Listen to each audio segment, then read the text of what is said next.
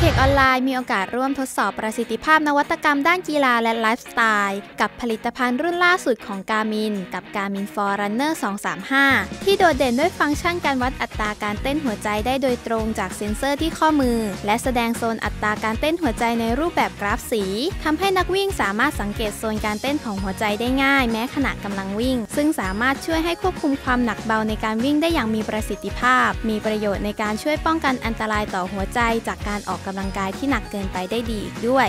สำหรับ Garmin Forerunner 235 สามารถรองรับภาษาไทยทั้งเมนูและการแสดงข้อมูลต่างๆ รวมถึงฟังก์ชันการแจ้งเตือนผู้ใช้เมื่อเชื่อมต่อกับสมาร์ทโฟน ทั้งข้อความ SMS อีเมล การนัดหมายบนปฏิทิน และการแจ้งเตือนจากโซเชียลมีเดียต่างๆ นอกจากนี้ยังเปิดบริการใหม่ Garmin Move ครั้งแรกกับการให้นักวิ่งสามารถทดลองใช้ผลิตภัณฑ์ Garmin ไปวิ่งจริง เพื่อทดสอบประสิทธิภาพ และสามารถเลือกรุ่นที่เหมาะกับการใช้งานของแต่ละคน โดยประเดิมสาขาแรกที่ร้าน Banana to You ถนนสารสิน บริเวณหลังสวนลุมพินี และสอบถามรายละเอียดเพิ่มเติมได้ที่ Garmin Call Center 02-266-9944 และ www.gpssociety.com แฟนๆทีเทคที่สนใจอัปเดตแกจิตใหม่ๆ รวมถึงข่าวสารเทคโนโลยี ก็สามารถติดตามได้ทางแฟนเพจทีเทคและ b u g a b o o TV ค่ะ